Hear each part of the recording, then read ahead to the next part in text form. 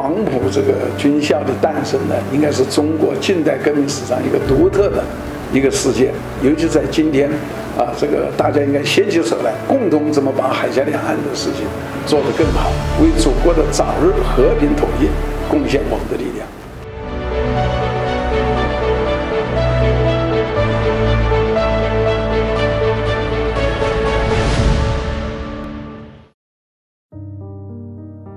黄埔军校是中国近现代史上著名的军事学校，为国家培养了大批军事人才，被誉为“将帅摇篮”。作为黄埔一期学生的王连庆，在抗战时期曾先后担任国民革命军九十四师师长、八十五师师长、第十四军副军长等，参加过中条山战役、中国远征军赴缅作战及豫湘桂会战等。一九四九年八月二十七日，随邓昭英等十一人发表相关起义声明。一九五零年一月加入民革。我叫王洪新，那么我父亲呢是叫王延庆，他是黄埔军校第一期第三大队的学员。那么我父亲呢就是起义以后，一九五一年从北京分配到江西啊，当时是由国务院任命为江西省人民政府参事。所以我父亲来了江西以后呢，我以一九五八年在南昌出生，南昌出生的，所以一直就跟随着我父亲，一直到他逝世，是我在我父亲身边。王连庆之子王洪新在接受中新社记者专访时回忆称，父亲在他十三岁时过世，生前所讲长篇大论的故事都与黄埔有关。其中，父亲陪同卫立煌去延安资助共产党抗日的故事，让他记忆深刻。这是我父亲的部队，原来长期驻扎在河南渑池，他曾经就通过渑池，他就通渡过黄河的时候啊，经彭德怀介绍啊，当时我父亲就陪同卫立煌去过延安，啊，去延安的时候，当时带了一些枪支弹药。包括一些资金啊，资助共产党抗日，啊，这个我我父亲讲的这个印象非常之深。王洪新回忆说，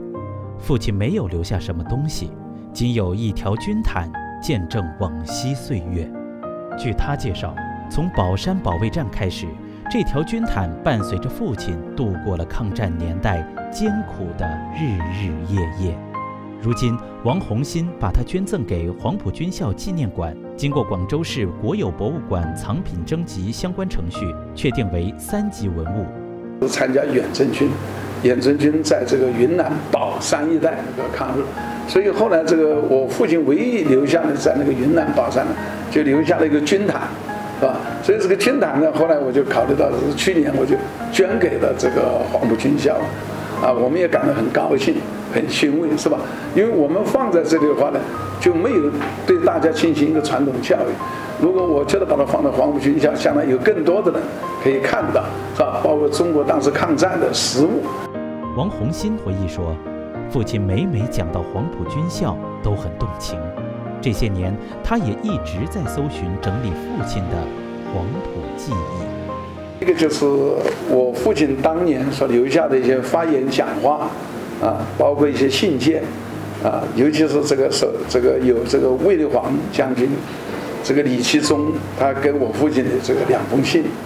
那么另外呢，就是我父亲当年参加民革和政协的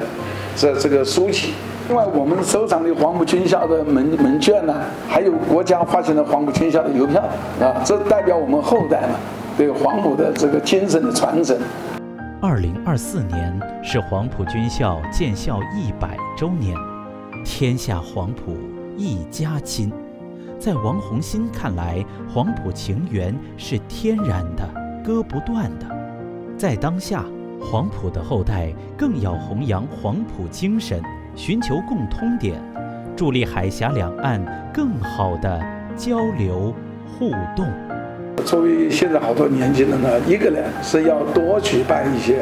这个交流会，首先要把这个黄埔军校的历史、传承的这些东西告诉他们，尤其在今天啊，自己在各自的岗位上啊，把自己的工作做好，啊？当然我们是二代了，还有三代甚至四代，啊，我希望呢，就是我们大家应该共同携起手来，